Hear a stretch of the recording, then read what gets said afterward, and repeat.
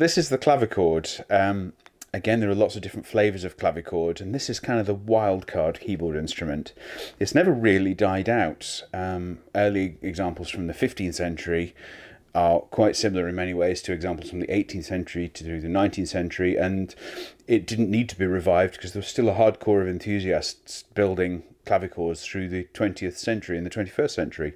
Um, it's now achieving great popularity, but as you can hear and see from this style of instrument, um, it achieves great popularity, but in very, very small circles. It's an exceptionally quiet instrument. Here's a very loud chord. And that's it. And this is quite a loud clavichord. This is a copy of an instrument from about 1700, um, originally made in Leipzig. And this instrument is, is a, certain flavour of clavichord called a fretted clavichord.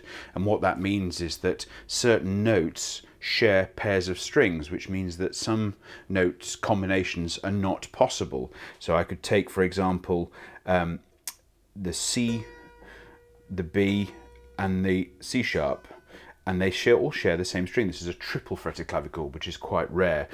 And what it means is that if I play the C sharp, I then can't play the C, or the B because they all share the same strings. What this means in practice is you have to be very, very careful and very precise about your finger touch. And we find theorists from the 18th century particularly talk about that when you've mastered the clavichord touch, you can play anything else, the fortepiano, the harpsichord, the organ, really, really wonderfully well. And to a certain degree, that's absolutely true. This little instrument, though, has a lot of expressivity even within its very quiet dimensions. You can play sort of loud, soft, you have certain degree of control of dynamics, which is rather nice.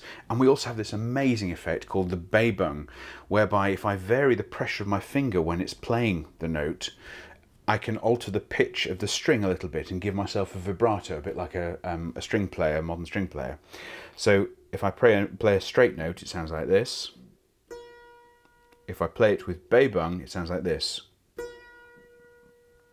And this is a very expressive thing that composers knew and, and were writing for uh, that's only really possible on the clavichord.